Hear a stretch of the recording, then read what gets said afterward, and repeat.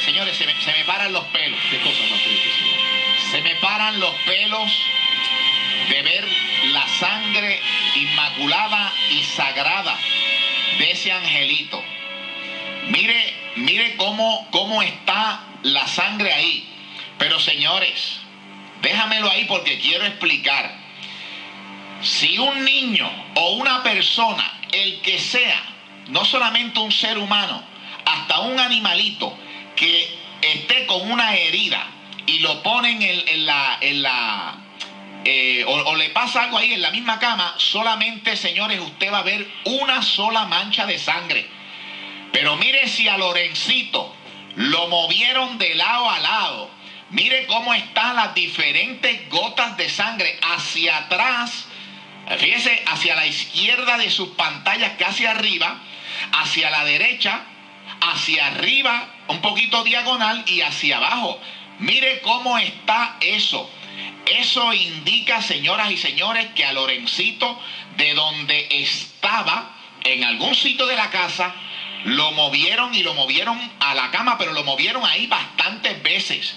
La o las personas que trataron, o sea, que, que le hicieron daño a Lorencito, trataron, estaban tan y tan asustados que no encontraban ni qué hacer. Y esto, mire bien las marcas. Casi siempre que hay una escena de un crimen, hay una mancha grande. Pero mire, mire cómo están los puntos. Pero no solamente los puntos.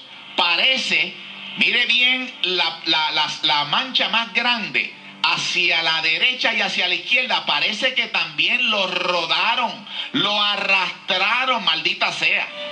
Esto es increíble, señores. No, eso, eso le para a uno la... Por eso era que había que votar el matre. No sabemos por qué, la- eh, si es que fue cierto que Mariela Santini, la fiscal, dio órdenes de eso. Tampoco de- desconocemos si ahí está la sábana o ese es el matre. Supuestamente ese es el matre completo. Pero señores, se ve como si eso fuera sangre fresca. Fíjese bien, mírelo bien, hay, hay unas claras y otras más oscuras. Y si hay unas claras y otras más oscuras, los expertos nos explican, señores, que esto, este niño, lo cogieron, lo sacaron, de, lo, lo metieron a la cama, lo sacaron de la cama, lo metían de nuevo a la cama, lo sacaban. Señores, aquí lo que se formó es un despelote. Y estas cosas son las que medicina forense, eh, eh, eh, ciencia forense, es lo que tiene todas estas cosas. Al niño lo pusieron y lo cambiaban de sitio en sitio porque no sabían, o él o los que lo asesinaron, no sabían lo que iban a hacer. Y fíjense bien que no son manchas parejas. No son manchas parejas, mírelo bien. O sea, son, manchas de diferentes, de diferentes, o sea, parece que lo pusieron boca abajo, boca arriba, no se sabe ni la hora que es.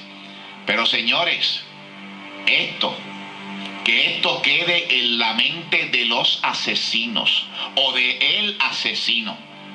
Porque verdaderamente, señoras y señores, a ese niño lo dejaron morir. Estuvo cerca de cuatro, cinco, seis horas, nadie sabe. Pero la prueba está ahí. Por eso es que algunas personas le han cogido miedo, pánico, terror al maldito madre. Por eso es que lo llevaron a votar. Y yo quisiera, señoras y señores, que él o los o las, como sea, que participaron en este vil asesinato, estén viendo estas escenas para que vean lo que le han hecho a ese pobre angelito, que lo masacraron hasta más no poder. Y voy más, y voy más, dentro de esa sangre inmaculada y, sa- y santa del niño Lorenzo, ahí es posible que haya sangre de otra persona. Sí, Señor, ay Dios. Señoras y señores, ya el misterio, ya el misterio se está solucionando. No les garantizo, pueblo de Puerto Rico, que los arrestos sean en dos semanas, en tres o en dos meses. Esto está por verse. Pero pueblo de Puerto Rico, lo que quiero es que ustedes vean cómo fue asesinado, cómo fue torturado ese niño. Qué barbaridad. Miren cómo está eso. No tiene lógica que hayan esas manchas de sangre tan distantes en un matre. Claro. Y se ve que el matre es este, amplio. Pueblo de Puerto Rico, que descanse en paz y que no esté sufriendo esa, esa, eh, eh, es el, el alma de, de- de Lorencito. Que descanse en paz, Lorencito. Vengo rápido, no se vaya nadie. Regresamos. Clama, clama por la sangre de un ángel, clama, clama que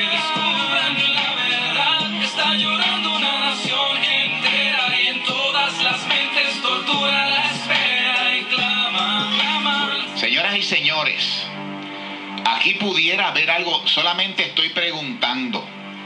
Y yo quisiera que en este momento, si no se han dado cuenta, el secretario de Justicia, doña Wanda Casiano también y don este, Obdulio Meléndez, que por favor, yo quiero, todos queremos aportar en esta situación del niño Lorenzo. Pero señoras y señores, rápidamente, varios televidentes nos han llamado. Esto porque a veces no- uno no se puede dar eh, cuenta de, las- de las- de Claro, las claro, cosas. claro. Estamos aquí trabajando, ¿no? Eso es así. Señores, mire, vamos a ver algo extraño en el papel de entrada y salida cuando don Carlos Cacho fue a votar el matres. Déjame verlo un momentito, déjame ver el papel. Mira, ahí está. Vamos a ver eh, la, la fecha. Déjalo ahí. Ve, don Carlos Cacho, que fue el 3910, la tablilla 3640, sigue hacia la derecha. Este, la, la- El modelo sí, GM. modelo GM, etcétera, etcétera. Sí. La calle, Sí. la calle eh, Bruma, ¿ve? Y firma Carlos Cacho. Pero si volvemos a la izquierda, si volvemos a la izquierda, miren la fecha de lo que está marcado en anaranjado. Pero fíjense debajo, fíjense debajo de la fecha del 39 hay un borrón. Éntrale al borrón. Miren eso. Sí, sí. Miren eso, señores Borrado completamente. borrado. Y si seguimos a la derecha, la tablilla ahí está borrada. Si cogemos y seguimos, ¿qué dice ahí Héctor? Agente Concepción. Agente Concepción. ¿Y qué dice que, si seguimos? Dorado del Mar. Dorado del Mar. Sí. Un tal agente Concepción de Dorado del Mar. Y si seguimos a la derecha, ahí está la firma, La firma. del tal agente. Señores, no sabemos si el agente Concepción de Dorado del Mar, no sabemos si el agente Concepción de Dorado del Mar eh, tiene que ver algo con esto, porque ¿por qué tienen que borrar la fecha? Que, que- que no sabemos si, si, si fue el 9 o no sabemos si fue el 10, porque todo lo demás es el 10, o fue el 9, o fue el 10.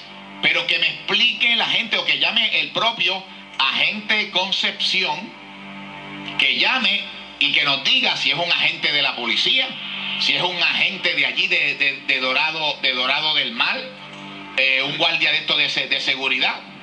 A la verdad que, señores, esto está un poquito, un poquito raro. Sí. Gracias a todos los televidentes que nos han llamado, Sí. que se dieron cuenta, fíjese, y esto, y yo no me di cuenta de eso, yo no sé si tú te diste cuenta. Sí, no, fíjese, ¿Sabes? ¿no? Estábamos no pendientes de, cuenta. la, de la fecha de Carlos Cacho y de la, la cosa. Así que, señoras y señores, ya aquí hay algo medio, medio raro. Sí. ¿Por qué tiene que haber ese borrón ahí? ¿Qué no quieren que se sepa? Cuando uno borra algo es porque no quiere que nadie vea. Eso, eso es así. Eso es obvio. Eso es así.